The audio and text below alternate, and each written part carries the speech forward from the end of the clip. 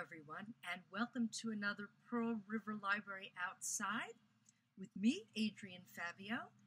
And today I'm going to talk about Swing Low, Sweet Chariot, which is from a genre of songs known as American spirituals. These songs were created by African Americans who heralded Christian values while describing the hardships of slavery. Swing Low Sweet Chariot was written by Wallace Willis, who was one of the Choctaw freedmen. Now, the Choctaw were a Native American tribe who still um, comprises a large population of southeastern Oklahoma.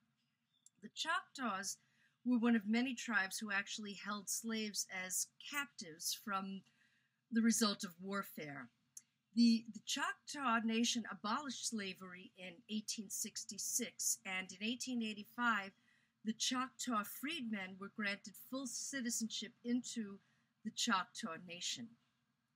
Wallace Willis worked at a Choctaw boarding school, and um, the minister of the school heard him singing Sweet Swing Low, Sweet Chariot, and he sent it to the Jubilee Singers of Fisk University in Nashville, Tennessee. The Jubilee Singers popularized it by taking it on the road during a tour of the United States and Europe, and they were the first to record it in 1909. Swing low, sweet chariot,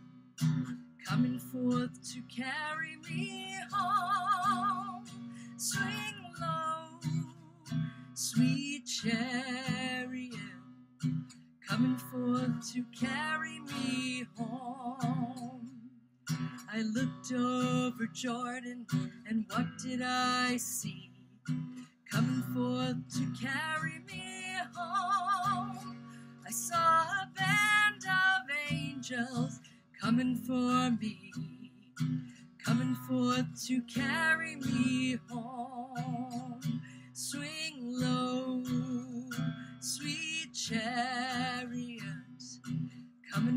coming to carry me home. Swing low, sweet chariot, coming forth to carry me home. If you get there before I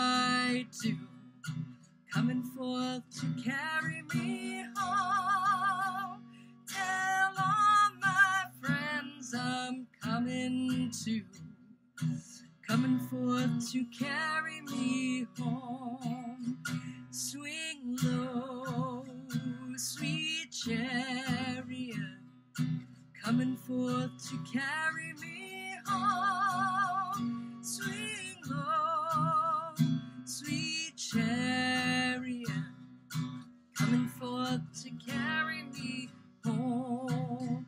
Swing low, sweet chariot, coming forth to carry me home. Swing low, sweet chariot,